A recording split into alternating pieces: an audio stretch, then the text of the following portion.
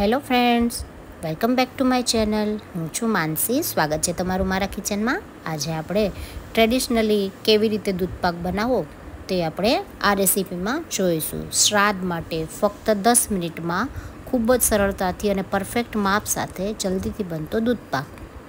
તો ચાલો શરૂ કરીએ. અને હા ફ્રેન્ડ્સ જો તમે મારી ચેનલને સબસ્ક્રાઈબ ન કરી તો મારી ચેનલને જરૂરથી સબસ્ક્રાઈબ કરજો.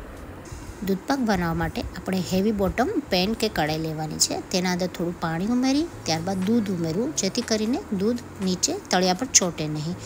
દૂધ થોડું ઉકળે, એટલે બે ટેબલ સ્પૂન બાસમતી ચોખા, મેં બાસમતી ચોખાને બે કલાક જેટલા પલાળી, ધોઈ અને પાણી કાઢી અને ઉમેરેલા છે. ચોખા ઉમેરી, હલાવતા જવું. પછી થોડું દૂધ લેવું અને કેસરની અંદર થોડું ગરમ દૂધ ઉમેરવું, જેથી કરીને કેસર ઓગળી જાય. હવે આ સ્ટેજ પર આપણા ચોખા ચડી ગયા છે, એટલે કે આપણું દૂધપાક ઓલમોસ્ટ તૈયાર છે. હવે આપણે કેસરવાળું દૂધ ઉમેરીશું.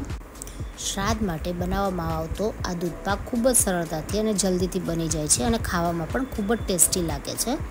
ત્યારબાદ હવે આપણે બદામ ઉમેરીશું. બદામની મેં ફ્લેક્સ કરી લીધેલી છે, તો બે ટેબલ સ્પૂન જેટલી આપણે બદામ ઉમેરીશું. હવે આપણે અહીં ખાંડ ઉમેરીશું. ખાંડ અડધી વાટકી કરતાં પણ થોડી ઓછી મેં ઉમેરેલી છે. તો એ વાતનું ખાસ ધ્યાન રાખવું કે અડધી વાટકી પણ નથી ઉમેરવાની. થોડી ઓછી અડધી વાટકીમાં પણ.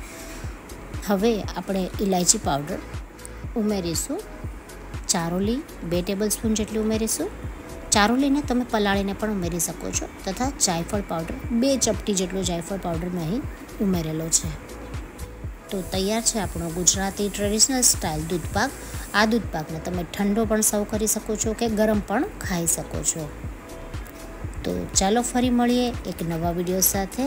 ત્યાં સુધી થેન્ક યુ ફોર વોચિંગ અને હા ફ્રેન્ડ જો તમે મારી ચેનલ પર નવા હોય તો મારી ચેનલને જરૂરથી સબસ્ક્રાઈબ કરજો અને તમારા ફ્રેન્ડ્સ એન્ડ ફેમિલીમાં શેર કરજો. Thank you